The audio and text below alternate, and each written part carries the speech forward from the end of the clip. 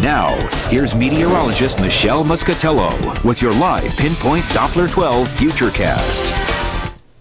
Well, it's another beautiful day, dry skies and sunshine, and that's helped us climb out of the 50s that we had in most areas early this morning, back to the mid to upper 70s now. Woonsocket, in fact, at 78, at 76 in Attleboro, 75 North Kingstown, and about 77 degrees in Coventry.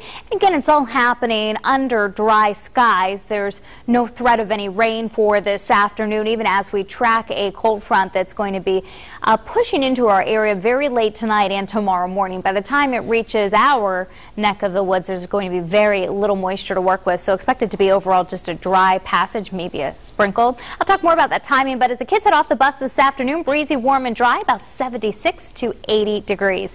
And that includes at the coast, where the temperatures will be held just a few degrees cooler, about 76 in Newport compared to, say, 79 in Hope Valley, 78 Wickford, and about 80 for your temp this afternoon in Coventry. A little breezy at times, but lots of sunshine, warm and dry, upper 70s 70s to near 80 in Burrillville and Foster. Scituate's high around 80 degrees. In southeastern Massachusetts, temperatures in the upper 70s to near 80, breezy, warm, and dry. So if you can sneak down to the shore, mostly sunny skies at the beach, about 74 for the air temp, water temperature running at about 72. Let's take your Futurecast through the afternoon and into this evening, and we're looking good for the rest of the day. This is 7 o'clock in the evening. If you've got a high school football game to attend tonight, we're looking at dry skies.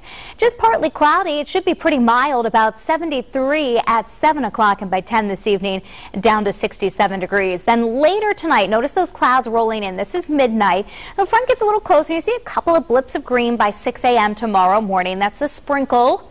It'll clear out as we head into your uh, Saturday afternoon and we'll get back to sunshine everywhere. So we are looking at overall a nice weekend, about 77 for the high on Saturday, clear and cooler on Sunday with a high of 72. In fact, we're going to start to feel that cooler air move in Saturday evening. So WaterFire is going to be a sweater weather kind of evening about 7 o'clock, 68 and then falling to about 58 degrees by 11 o'clock. Taking a look at that seven day Futurecast for you. So overall, again, a good looking weekend. We've got the uh, dry skies, clearing conditions for the overnight hours.